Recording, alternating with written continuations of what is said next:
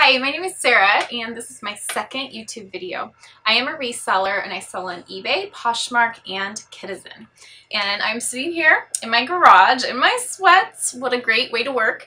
And um, I actually have a couple of my more recent thrift haul um, up here in the background mostly because I just wanted to show you I love old and unique things and um, so I'm not sure who would remember or maybe they still do them I never watch TV but um, uh, this is a Kermit Klein sweatshirt making a spoof on the Calvin Klein commercials where they had the, you know, super muscular guys with their pants hanging low and then the Calvin Klein logo. So anyway, I just was busting up in the thrift store. I usually shop at the bins and this just cracked me up.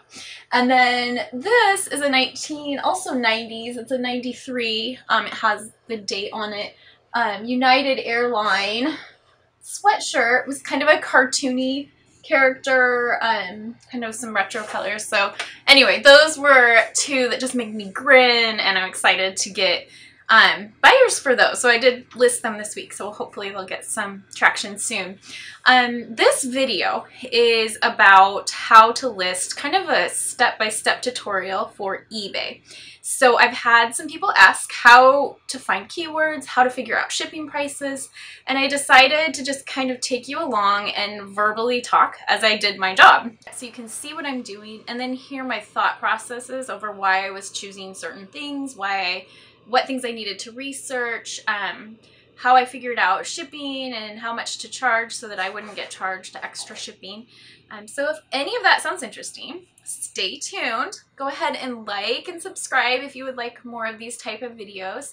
And also I wanted to apologize beforehand. The video quality at the end is kind of bad. It's been a learning experience for me. Um, but basically my iPhone in a dark garage does not take very good pictures and videos. So um, that is a little bad there at the end, so forgive me for that. I'm still figuring this whole thing out and thankful for a husband who has really um, helped me with some editing and giving me pointers of what to do next time. So anyway, hope you enjoy and hope this is helpful. I'm going to go ahead and list a few items for you. So we are going to go into, I've already uploaded pictures. Let's start with this one. Um, the first thing I do when I'm doing a listing, so I have a store, but it should look the same no matter if you have a store or not once you get into the listing page. Um, there's just a couple things that might be different. Here is my picture. Honestly, light colors are hard for me because it looks so shadowy. And then when I go to adjust the um, picture, sometimes it can get kind of washed out. So I like to change and add brightness and add contrast. And I try to do it so that it the picture kind of pops, but then I don't want it to, look weird, like in totally different color. I have to play around with it a bit. But I actually only usually edit the first photo and leave the rest because as a buyer, I found that I prefer non-edited photos. Yeah, those ones catch my eye in the beginning, but I want to see true color. I want to see um, under normal light what it will do. This tag is so washed out, you can barely read it. I'm not even sure why I put it, but you can sort of make out that it says linen cotton blend. And linen is a good keyword. So I wanted them to see that it was truly linen. And the rest of my pictures look fine. I always put measurements in my photos. I used to think it looked tacky and it probably still does, but I found it makes my listing so much faster and it also has decreased my errors because sometimes I would get measurements mixed up as I wrote them down or it was just tedious.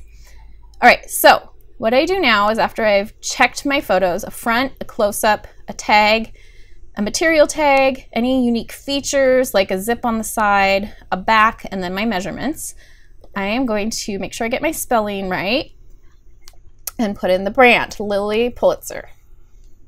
So put that up here.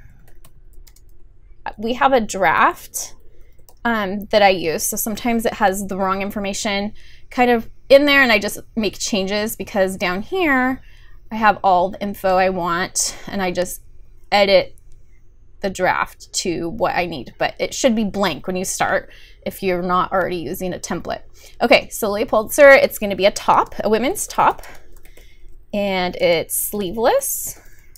It's yellow linen, yellow and white. Oops. All right, how else could we describe this? What are the unique features? So it's um it's got buttons. It's like more of a tunic style where it's kind of flowy. So I'm gonna put tunic as early like a keyword up earlier in the listing title. So Lilly Pulitzer women's top tunic, sleeveless, yellow, white linen. It doesn't have to sound good, you guys. You just want to get keywords, things that people would type in. Um, what are some other things people might type in? Oh, man, sometimes it's so hard to know what people would type in. One way you can look up potential keywords is to open up another screen of eBay. Whoops, not do that. And go to advanced settings. I do this with almost every listing if I'm not really familiar. So this also helps me get comp. So I go to sold. I want to see what has sold with some of the same keywords and what for. So here's a pre-owned white top that sold for 22. It has sleeves. I'm not sure why that's showing up. Cap sleeve. Um, this one is a sleeveless top that went for 30. It was new. This one was a totally different style. Um, so I'm trying to look for something. Maybe if I put in tunic. a little bit closer. Okay, here's one that went for new for 750. Not impressive. Um, let's see. Comps tend to be all over the place. You kind of have to. And look, so she has a brand that's from Target. So then the Target ones are going to drive the price down too. Um, okay, so here's one that was new. This sold for 15. So let's think about the neckline. Okay, here, look, this is exactly it in another color. It went for $44. So, and it was pre-owned. So it looks like the name of it is Adelina. So what I like to do now is I like to Google just to make sure, do my due diligence that I'm gonna use the right keyword um, and put Lily Sir, make sure I spelled this right. Adelina or Adelina or shirt top. Let's see what comes up. Okay, so that looks like it's the specific color maybe? I don't know because they're all coming up the same green. Let's look up images. Hmm. So let's look up yellow. Will it come up in yellow? Is that a thing? This is where you can start to spend too much time when you just need to get listings up.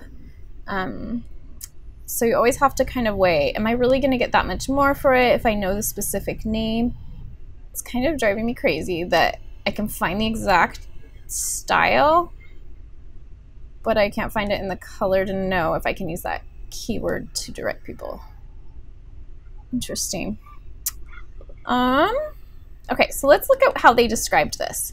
Lilly, put, Lilly Pulitzer size small, which I have not put the size in yet, which is always something you put in. Six. So a six is going to be also small, but we'll put in six. We'll put in small. Um, we have nine characters left. What else did they say? Um, none of those really apply.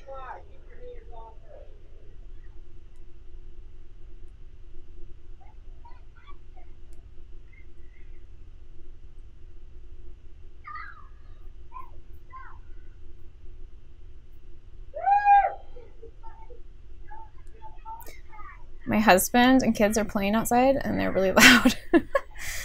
but I'm glad they're playing. Um, this is another one that looks kind of like that too. I wish I knew the name, but I don't know the name. And I'm going to keep going. So the neck is a, it's kind of like a boat neck. It's a little bit wide, has buttons. So I'm going to put those as keywords as well.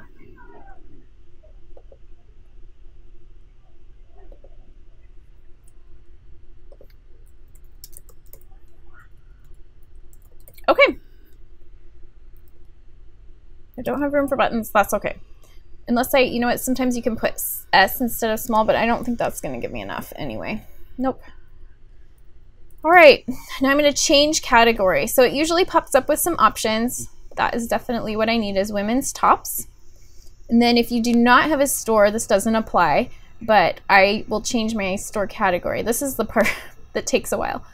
It's kind of boring, kind of slow. Sometimes I upload other pictures to my phone while it's loading. It's kind of like, as this section, okay, now I'm gonna get the next one ready because I do not like to waste time just sitting.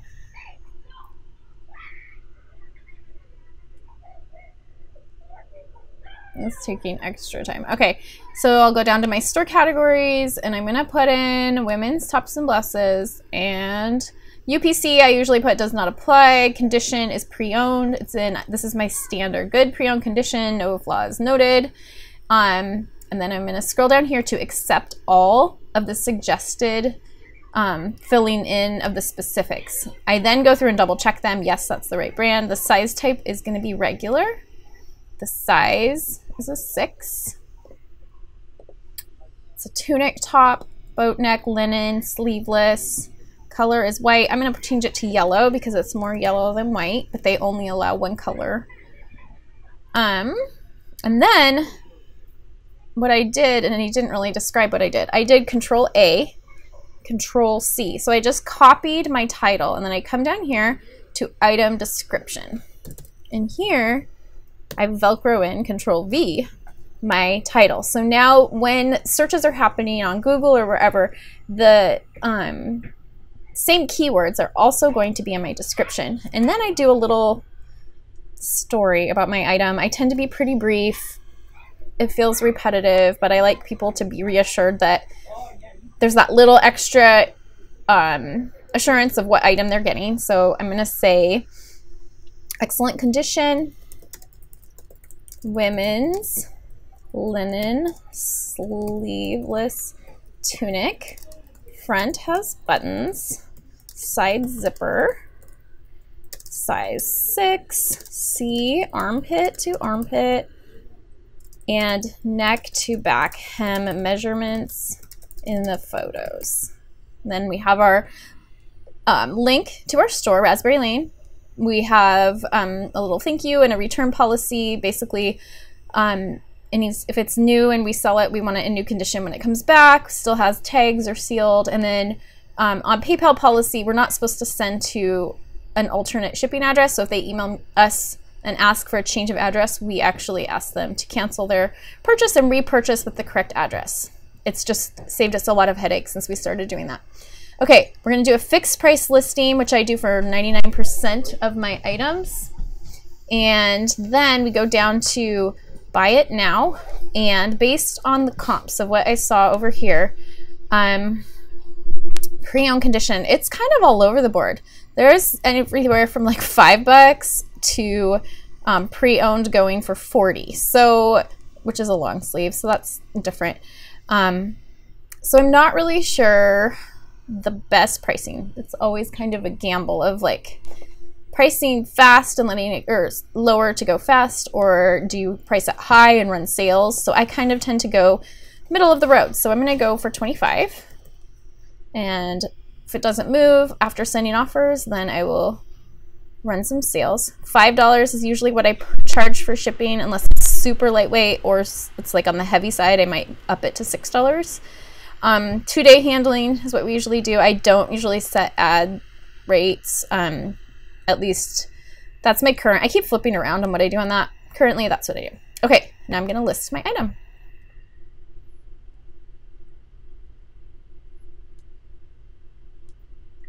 And I've heard it said, and I agree, that if you start, it's kind of nice to find the same products over and over because then you get faster. As you list similar things, you're spending less time figuring things out and you can get more bulk up there. So even if you like, I'm just going to focus on tops, women's tops, or you know, something like that.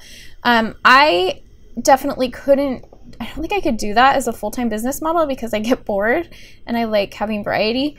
Um, people there's people who say, you know, to try and curate or try and focus in and I just for whatever reason it doesn't work for me because I find what I find and if I know it can make me money then I want it to make me money.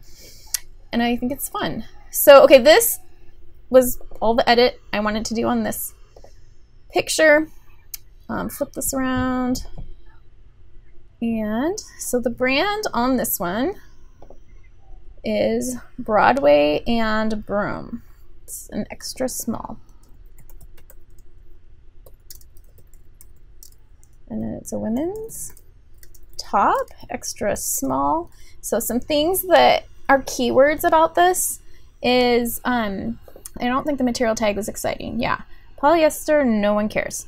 Um, but it's sheer. Sheer blouses tend to do pretty well for me um, for like career tops. So I'll put sheer, button down, pink, it's polka dot, right? Let me see up close. Yeah. Oops. Polka dot. And then I'm going to put um, career blouse. Will it fit? Oh, so close. Um, let's see. I'm to... Sometimes if I only need one more, I get rid of that apostrophe just so I can fit my last little bit. Okay, so now I'm to look up. Let's see, let's go to this, copy it. And we'll do a search. In our advanced search setting under sold, what has have things on eBay been selling for with these keywords? And it's an extra small. So one thing that you start to notice right away is everyone attaches Madewell to this. Madewell. So it's a line um, that must be carried at Madewell. Though people are attaching a lot of things. So some people are saying Anthropologie. Some people are saying... So what I can do is I can do good old Google. And I'm going to put it in here. And I'm going to go to all. And look, sure enough, Madewell, Broadway and Broom. So, anybody who knows this brand better than me could tell me, you could leave a mark. Um, it's kind of a weird website. What is going on? Um, can let me know if sometimes there's certain brands that only sell, or like they they sell multiple places and not all of them um, sell like Broadway Room could be sold other places besides Madewell, but I'm guessing it is since it seems to come up right away that it's connected with Madewell. So I'm gonna put it on there, but correct me if I'm wrong because I definitely prefer, I mean, I do not want to add in keywords that are inappropriate, you want to be really careful about that, that you're not throwing in names that are just getting more views, but they're not really reflecting your item. Okay, so more than polka dot, I'm going to put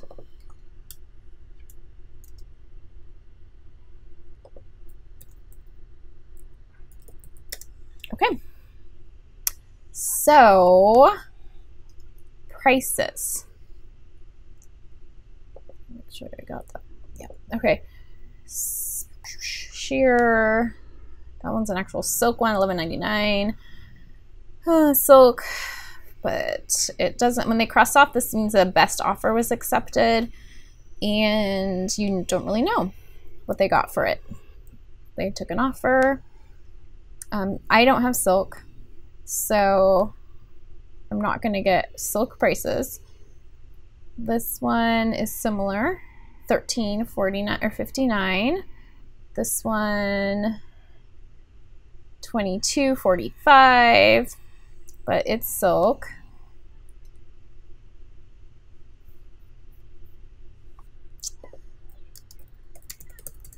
Type in a little bit more. Let's see. And if I do sheer, how about that? Maybe it'll give me something that makes me feel more confident. Okay, that's 11.99, but that was the silk one. 11 these are not even the same brand. Interesting. All right. Well, when this happens, I tend to make up a price in my head. so we go to the clothing top.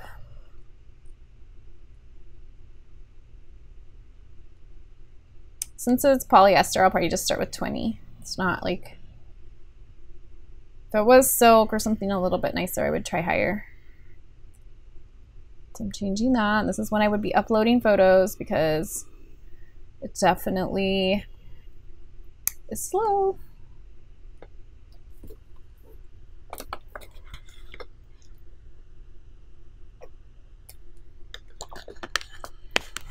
Okay, so I'm going to change it to my store category. Women's tops and blouses. Good pre-owned condition, no flaws noted. Accepting all these. Brand is Madewell, Size type is regular. Size is extra small, which is always kind of a bummer. Smaller sizes don't get as much.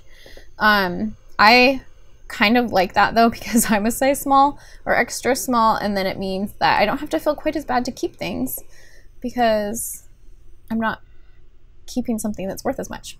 It's easier. um, style is basic. Neckline is going to be collared. Is it collared? This one is button, but not really collared, is it? So I have, I guess, a slight V-neck. Some of the stuff, it's like you kind of don't even know. Let's try round neck. Um, materials, polyester. If you type in, it'll pop up for you. And patterns, let's see if we can do spots. Do we have spots? Do we have polka dots? There we go, polka dot. Oh, look at, I didn't spell it right. Polka. Oh, I got rid of it anyway. Okay. Um, long sleeve. Um, polka dot bras, pink. All right. So again, you're gonna control A, control C, come down here, control V. All right, now I get to talk about it. Excellent condition, women's, sheer, dusty pink and black. Oops, polka dot button down shirt. Long sleeves. Size is extra small. See photos for armpit to armpit and back neck to hem measurements. All right, price. So we're gonna do 20. We're gonna, I always require immediate payment just because, oh my goodness, sometimes dealing with, I mean, I now have unpaid assistant turned on so that they just deal with it, but it holds up your clothes. They just sit in like purgatory for a while until you can get um, them released to relist. So I personally always require immediate payment unless it's an auction. Um, down to UPS. Okay, this is first class. I'm gonna just charge four bucks because it is so lightweight. It's probably gonna be like 350 maybe. I'm gonna take this off. I don't have to put in any dimensions for first class.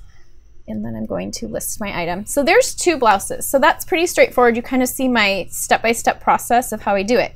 So now let's do something a little less normal. And that is a doll. So it's not gonna be first class. And it's a little bit more bulky. So I have keywords from another Cabbage Patch I sold in December, and um, I just need to change my listing to reflect what this doll looks like. So I'm going to brighten up the photo.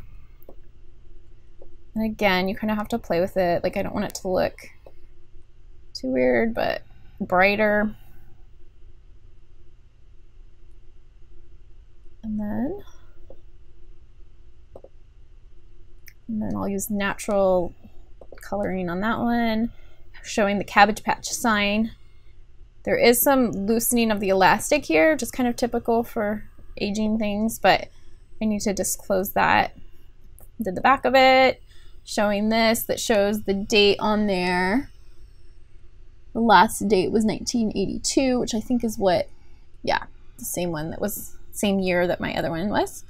Um, here I'm showing without clothes so they can see if there's any issues. Save it. And then again this one. And flip it around. Save it. I actually gave this doll a bath in um, a bucket with OxiClean and it cleaned up pretty well. I want to double check it just before because there was some staining to it. Um, so I need to look at it again real quick. And that has the tag. Okay, so there were some flaws to this doll. The seams had come un, uh, undone there. They had sewn it on both sleeves. There was this little, um, like, you can see where the, it's kind of annoying how it keeps popping up on me. You can see here that it has like these lines here where the, the fabric's kind of coming apart. So I wanted to make sure they knew that. And then they see my thumb and they also see my scabs from where apparently I cut myself. Um, and so here's me wanting to avoid them seeing that. You can crop. It's great. Oops.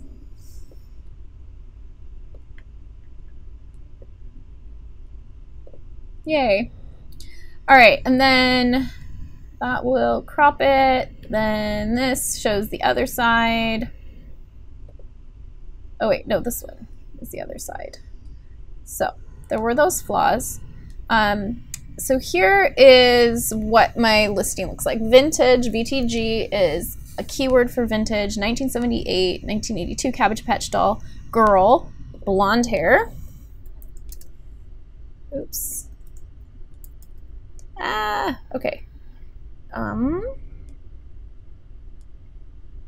I'm gonna have to figure out how to fit that in. What color eyes? I think green, right? Yeah. So green eyes. So we've got two words that are longer that aren't gonna fit. So I'm gonna have to change some things. I'm gonna just take off original. Blonde hair green eyes. So I don't tend to pick up Cabbage Patch dolls unless they have the original clothes because I feel like I get more if it has the full clothes and it just is cuter. Um, let's see, pre 1990. So they've got the category is Cabbage Patch Vintage pre 1990. Store categories, I just put other because it's kind of one that I don't have a category for. Um, it's used and the condition description. So now I need to type in what is wrong with the item, which is um, some repairs on seams of arms, of both arms, shoulders. Um, uh, what is, how would you describe that? Somewhere to back of, or to upper back. I'm gonna not a big deal, but I'm going to put see photos. Now I'm going to double check my item because I want to make sure if there's anything else that I need to disclose, but I think it was in pretty good shape otherwise. Yeah, it's fine. Oh yeah, the elastic in the arm, or elastic is loose. Um, elastic in outfit is Okay, so what I'm going to do with this is I am going to copy it. So what I like to do with things that are flaws with the item is I like to have them twice, um, both in the condition and in my list or description, just so that if there was ever a complaint saying you didn't describe, you know, like I didn't know this was wrong with it, um, that it was just very clear, like there wasn't any way they could have missed it if they had read. Um, and I showed it in the pictures, so it's actually shown three times. Okay, so I controlled, copied to here. So now I have the repair information, but I also want to just put in kind of an overview. Um, vintage original cabbage patch doll girl with um, blonde hair and blonde pigtail. And green eyes. Um, yellow original outfit. Um, so I'm going to look up really quick in my solds, or in eBay solds. I'm going to put Cabbage Patch pigtails because I feel like there was a name maybe for this kind of hair. Yarn hair. Well, yeah. Um, see, here's one that doesn't have clothes and it went for less than 19 and the buyer paid for shipping. Um, this one had clothes and went for 15 with $15 shipping. I know that my last one went for 32. I'm going to price it at 32. Oh, that is so cute. A western one with a cowboy hat and boots and everything. See, I just wonder I would have probably priced that higher. But you know, you just kind of go and you figure it out. And sometimes I'll price things one way and it doesn't pan out the next time. So, um, so I guess there isn't. I thought there was maybe it was a different hair that I was thinking about where it's like the loops. Um, but yeah, the one that I have is just like most of this hair, so doesn't seem to be keyword for that. Oh yeah, loopy, loopy curly. okay, that's fine. I'm not going to worry about that. So fixed price, I'm going to keep it at the 32 that I did last time, and we'll just see again. I can run sales, I can send offers. I'm going to require immediate payment. We always charge sales tax. We always do returns within 30 days. We have a very low, I think it's under 3% return rate. Um, I think being really clear on pictures and descriptions and putting the work in up front saves you money in the end. Um, priority mail. Okay, so here is where I'm going to show you let me make sure the video is where you can see it. Um, so here's my doll that I'm going to try and package. So I could put it in a large poly mailer. I don't have a large one, I just have a small one right here. So I could put it in a large one and ship it, and it would be a little bit lighter to do that. Um, which is an option, deciding. The other option would be, is I like to use this priority mail shoebox because this one you calculate by weight. And I know that she doesn't weigh that much and it's not going to be the same weight as um, a flat rate. It's not going to cost that much. So I could put her in this. She would fit just fine. Kind of feels like a coffin or something. Um, so let's see how much this weighs. So I'm going to get my postal scale that I have right here and see how much in the box she's going to weigh. So she weighs one pound, 3.2 ounces. So I always round up. So on the computer, I'm going to go in here and put one pound with tape. Let me give it a little extra. We'll put five ounces. And the dimensions of the box are actually written right on the box on all of the priority mailer things they should have dimensions there so you don't have to do any measuring um, and so I'm going to put in I round up again eight six and 15 and then I like to go and kind of get a feel for what it's going to cost the buyer so it's priority mail I've got the dimensions I've got the weight exactly what it would be and I'm going to hit calculate shipping. And what I'm going to do is I'm going to look based on where it would ship, how much it would cost the buyer. So for priority mail, okay, this is helpful. Um, it would cost 15 bucks to go to New York City, 13 to Chicago, 10 to Los Angeles. So if I did a medium flat rate box, oh, the prices, did it really go up that much? I haven't done a medium flat rate on eBay since the price changed and they changed it significantly so $15 for medium flat rate. So actually this is the cheaper option for people. It used to be like $12.85 or something that I could get it for with my eBay discount. Okay so I'm gonna choose that. Offer that shipping service. The only other option would be if I put it in a priority mailer or not a prior but a poly mailer it could be under a pound, which would save the buyer some money. So I'm to go grab a large um, poly mailer and see what that would be. Okay, so what I'll do is I have my large poly mailer and I'm going to put it on my scale with the doll, just the poly mailer and the doll.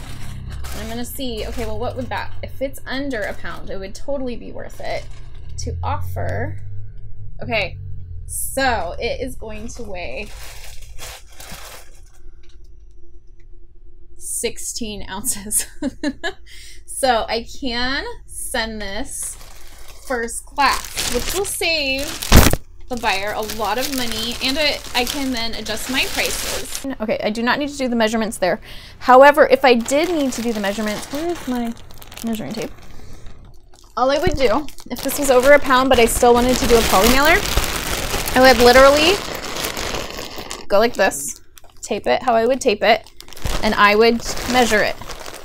And I would measure the length of it, which would be 17, the width of it, and then I do the depth of it. And it's, you know, it's literally just kind of holding it and seeing it's rounder, so you just kind of have to, there's a little bit of estimation, but always just estimate a little up. And that's all you do for doing measurements on things that are a little bit bulky. And I've never had a problem with doing it that way. All right. So I'm going to go ahead and list it. Take off this and do that. So yeah, so that was listing three items, two shirts and a Cabbage Patch doll, which is a little bit more awkward. Kind of slowly going step by step.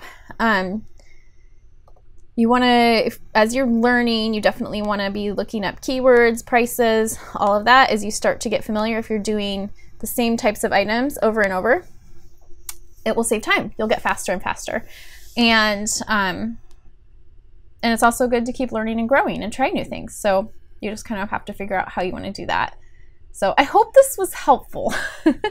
I feel like I, um, as I'm talking out loud, I, I'm kind of like, oh, I hope that my fumbling along and stumbling is actually good because um, it kind of helps you. I'm hoping that it helps to see kind of my thought process as I'm working through the different components of figuring things out and that it doesn't always just i mean i've been doing this three years and i still am figuring things out you know and i'm still i'm never selling the same item. And um i mean there's been i guess once i listed the same romper. So but it's pretty rare unless you're buying bulk of something that you are doing the same item over and over. So you're always kind of needing to think about keywords and how to describe things and um, and how to ship it and how to deal with different um, awkward shapes and objects. So anyway, I hope that that's helpful. I hope that you're having fun learning about reselling and I hope that you can go and use this information and not be afraid to start listing a couple things. Go ahead and like and subscribe if you um, at all want to hear more and if you could leave comments in the bottom or whatever that like if you have ideas for future ones, if you have questions about this, if I missed something, or if you saw an error I made, like, Sarah, you should do it this way, that would be great because we're all learning and we're all growing. And um, I know sometimes people have really fast ways of doing things, and I'm always excited to learn and grow. This definitely took more time as I was talking it out. Um, I can a lot of times go pretty fast on listings. I try to do them um, I like to do them in a couple minutes, to go through each one in a couple minutes, and that definitely did not happen this time. So anyways, I hope it's helpful. I hope you guys are having fun and enjoying the hunt as it's really good hunting time right now while people are cleaning out their closets and have a great day.